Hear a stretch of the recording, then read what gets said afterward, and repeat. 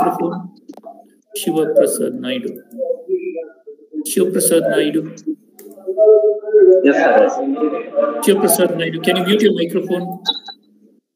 Why is it I'm not? Yes, yes, yes. Okay. So, what I'm trying to say is that in every CLT batch, teachers are asked to do classroom based research.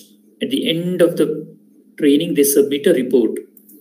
But this batch, I don't know, somehow we were not able to take it forward. I was not able to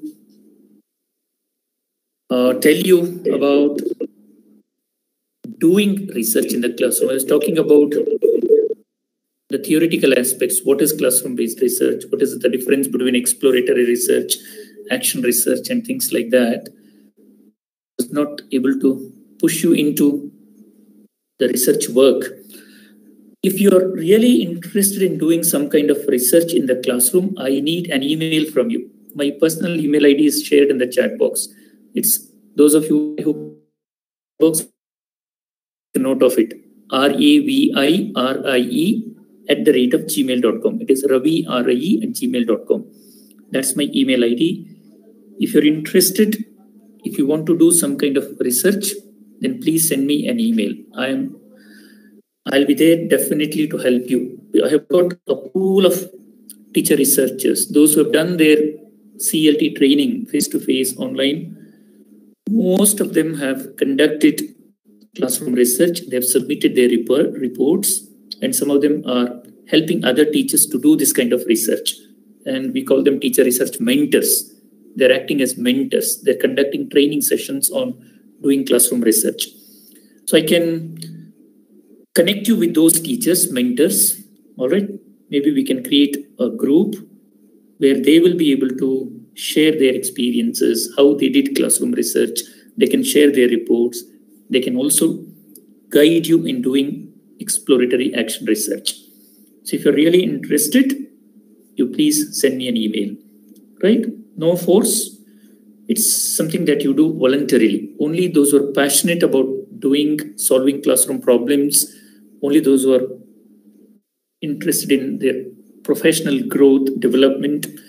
I think this is an opportunity for all of you. Some of these teachers who attended CLT programs in the last batches, they have also made presentations in conferences. We conducted an online conference in the month of June 2021. Some of these teachers, I think around 8 to 10 teachers presented classroom research reports in the conference they wrote an abstract, they made presentations, and they're writing a full article based on their classroom research. And some of them, around 17 of them, 17 of them made presentations in an international conference also, organized by uh, Dr. Richard Smith and his team. Uh, 12 of them made a presentation in a conference that was held in November online, and another five presented their papers in the month of December, December 10th and 11th. It was a two day online international conference. So if you're interested, I can actually uh, put you in contact with all those teachers. So that's a very good platform for your professional growth, right? Yeah. So that's about research part. Now today we are going to talk about reading. So I want some of you to please share your reading log. Then I'll share the link to the Google form where you will share your reading logs. Five different materials you've. I think you need to share only five on this Google form. Only three. Out of five, select any three and share them on the Google form. All right, I'll share the link here in the chat box. And then maybe one of you can share it in the WhatsApp group. And at the end of today's session, I'm going to conduct a small test on reading. That is that will be considered for your final grade. The test is for 20 marks, 10 for one second. I'll just take a call.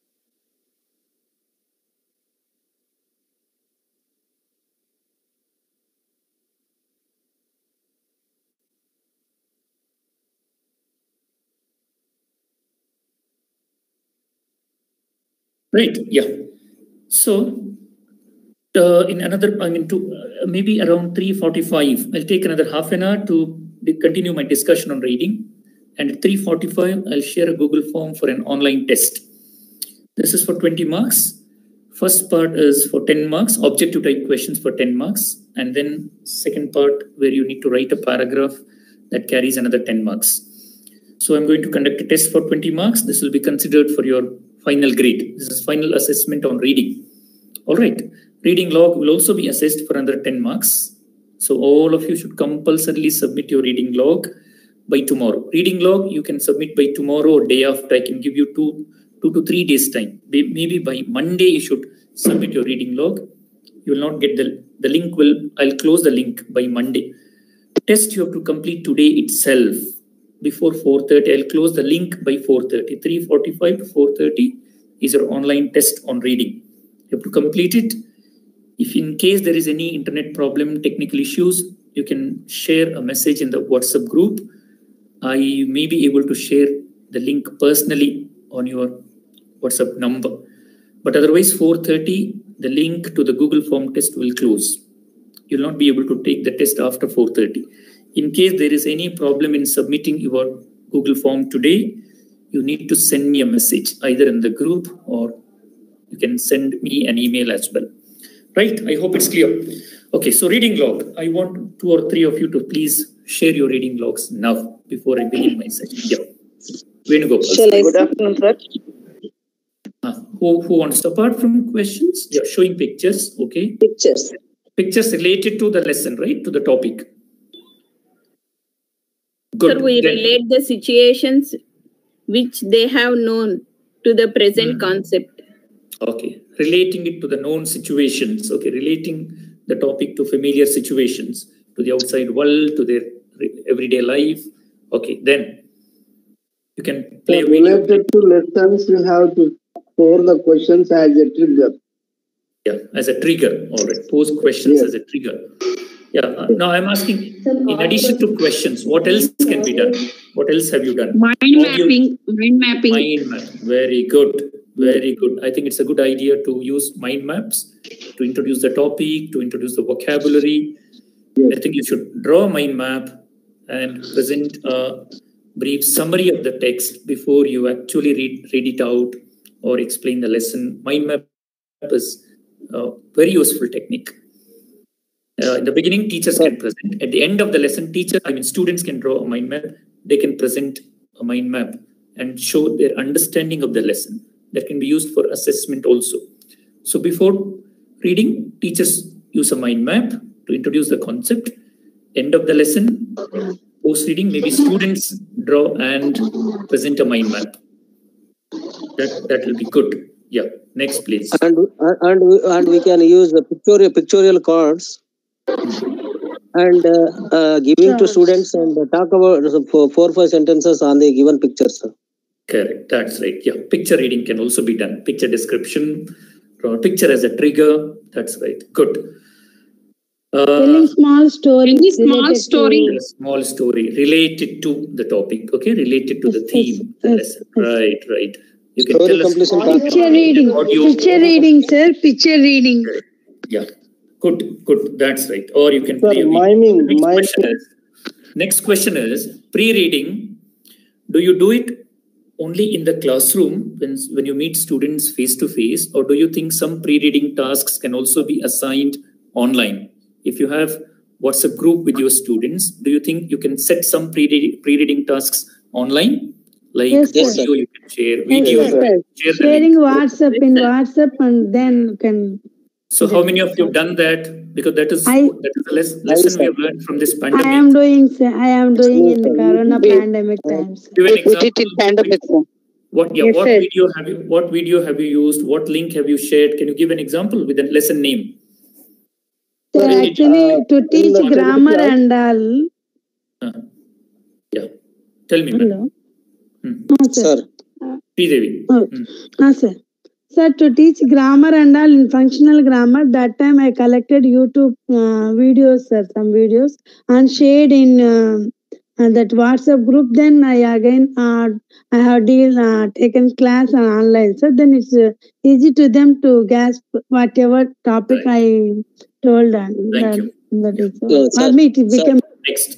Yeah. Sir, wha- Sir, sir, in the uh, pandemic yes, sir. time, sir, I Vagish. Vagish. Uh, Uh, Yes, I prepared some worksheets and I shared them uh, through screen sharing. Hmm. And each and every student uh, should uh, go through that and they have to answer this. It's a very interesting and very competitive activity uh, I have uh, come to know on this uh, online teaching, sir. Good. You can prepare a task sheet or a worksheet, share it on WhatsApp. Next. Yes, sir. sir, sir, Shaker. hello. Sir, Hmm.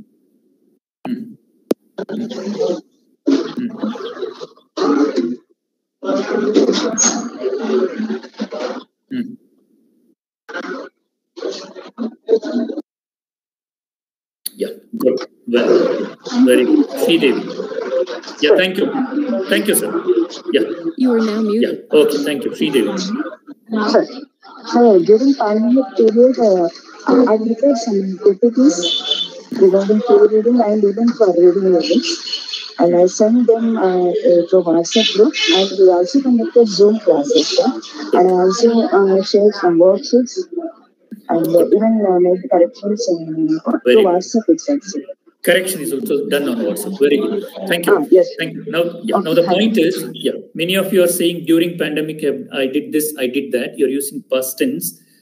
I'll be very happy if you continue to do that even now when the schools are open. All right. So this Yes, is uh, right. Yeah. So the point is, whatever best yeah, whatever best practices you've been following so far, you should continue those practices. Engage students online, whether it is on WhatsApp or Google Meet or TeachMint app. It's very very important to engage them both online and offline. Uh, because pandemic has taught us many important lessons. We can't expect students to learn only in the regular face-to-face mode. All right, they learn quite a lot uh, online on online platforms using online resources, audios, videos. So I think many of these pre-reading activities can be done offline. So I want all of you to think of offline activities as a pre-reading uh, at the pre-reading stage, like preparing short videos, audios. See, audio, you can record the audio. Somebody said the textbook is converted into an audio book. Convert the lesson into an audio audio book and then share the audio link with the student. Let them listen and practice at home. You don't have to do reading aloud in the classroom. They can practice at home. Teacher's voice, they can listen to teacher's voice, teacher's recording, reading aloud at home. They can record, send it back to the teacher. Many teachers have done this during the pandemic, but that should not stop there. Post pandemic, also, you should continue these practices. All right. And video recordings related to the short videos using KineMaster or any other apps. You should prepare videos related to the lessons, poems, share them. Students should come prepared to the class. So classroom time should be used for discussion on the lesson. That is while reading. That is while reading. So pre-reading, I would strongly urge all of you to do it offline, right?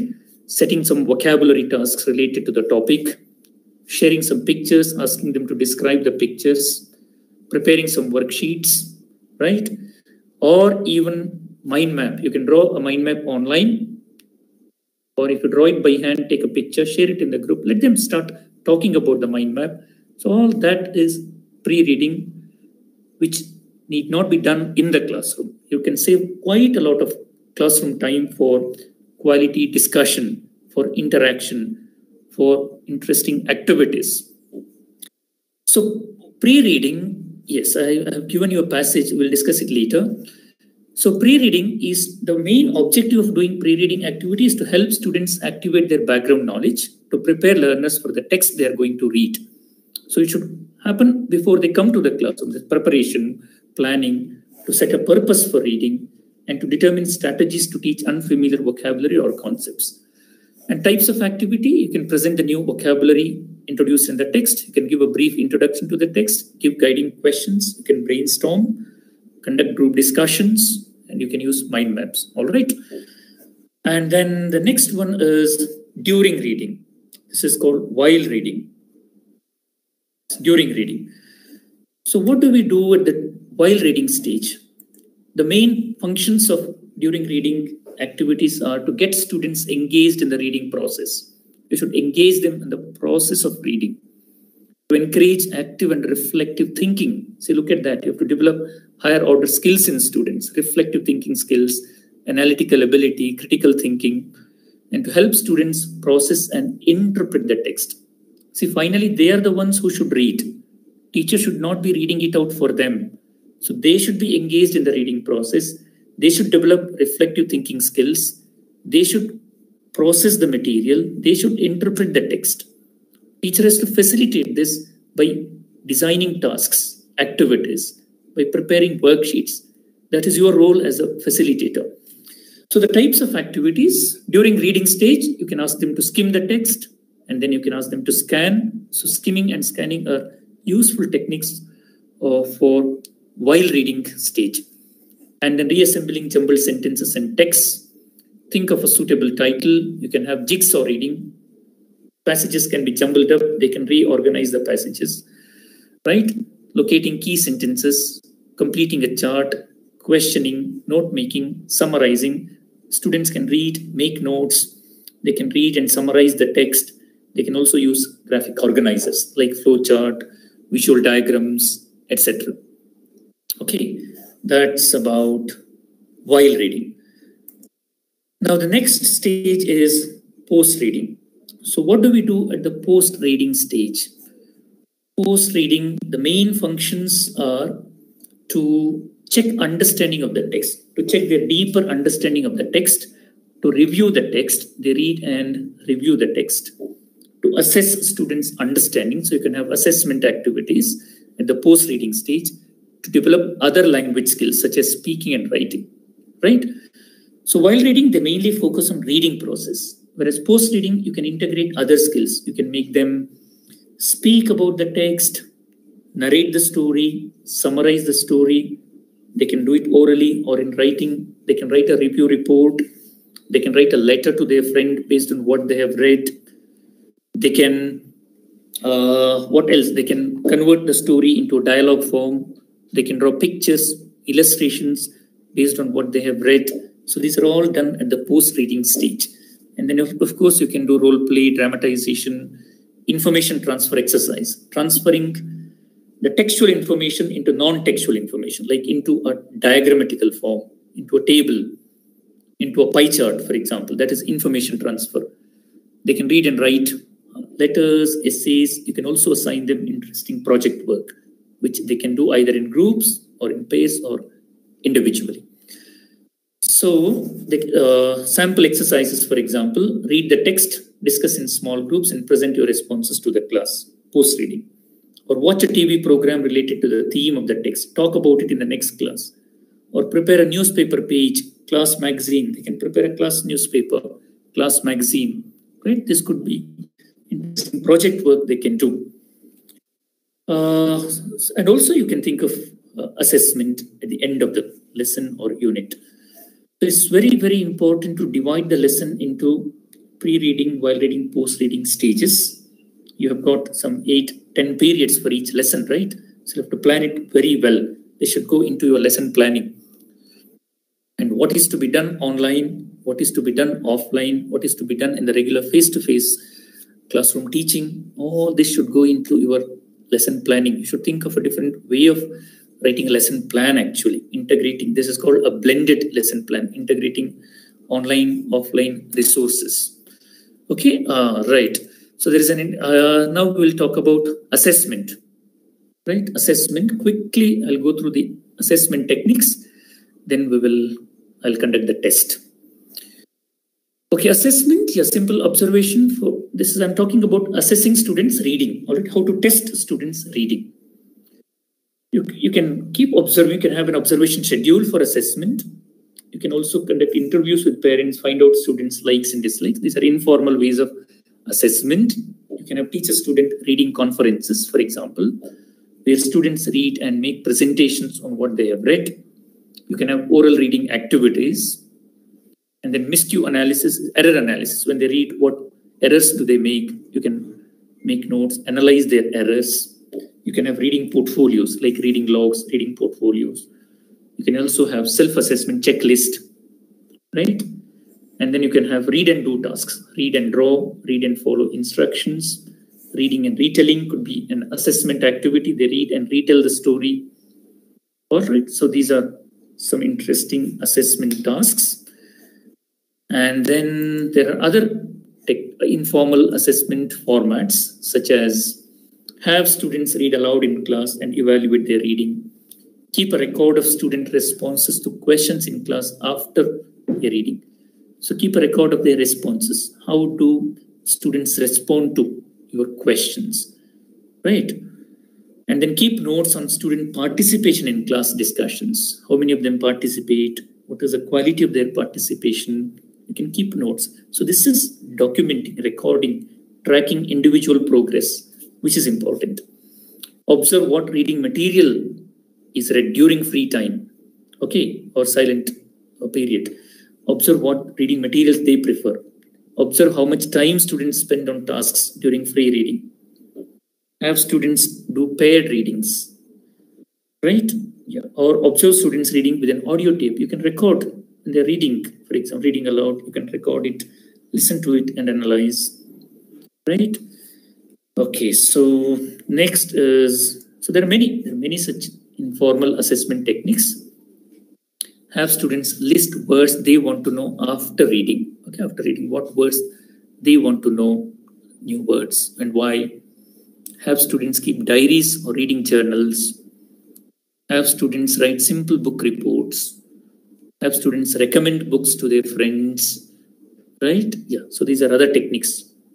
You can try it out sometime. It's not that you should do all these in your classrooms, but think of alternative ways of assessment. Don't think of only formal ways of assessing students' reading, only through questions, only through worksheets, only through written tests. No. I mean, students sometimes may not like these formal ways of testing them.